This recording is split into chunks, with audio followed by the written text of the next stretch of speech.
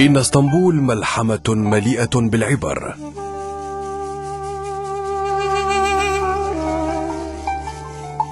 جمعت في طياتها العديد من الحضارات عبر آلاف السنوات.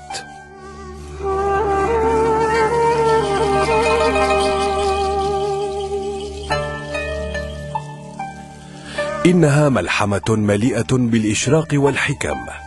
استمدت أبيات ووحي هذه الملحمة من روح اسطنبول المليئة بالآثار الفنية الخالدة.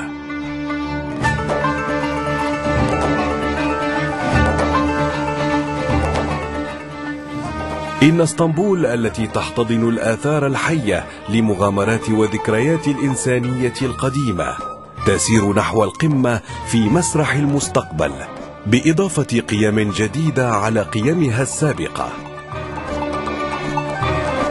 تمثل اسطنبول الوعي لقدرتها على تجديد نفسها ونشر أسيل السلام لكافة أرجاء العالم.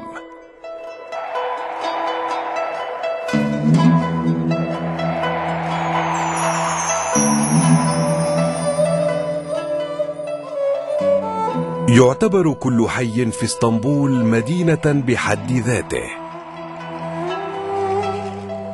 وتشكل هذه الأحياء مرآة المدينة التي تعكس صورة هذه الأحياء.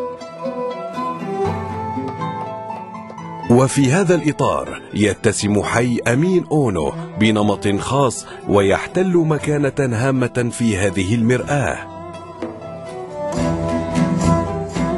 تم تسمية هذا الحي في العصر العثماني بهذا الاسم لتواجد مقر الجمارك البحرية وأمانة الجمارك فيه. ثم أصبح أحد أقضية اسطنبول المركزية إبان السنوات الأولى من تأسيس الجمهورية الحديثة.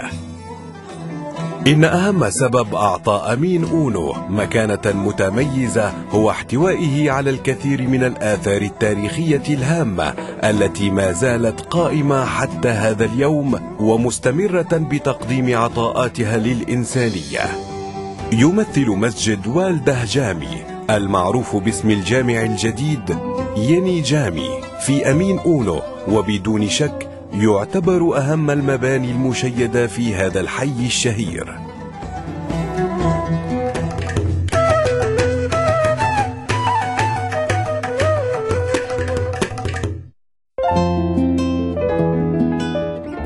لقد وضع حجر أساس هذا المسجد ومدرسته الذي يتميز بأسلوب البناء التقليدي من قبل السلاطين العثمانيين في عام 1597 ولم يكتمل تشييده إلا بعد مرور 66 عاما نظرا لانقطاع العمل فيه لشتى الأسباب.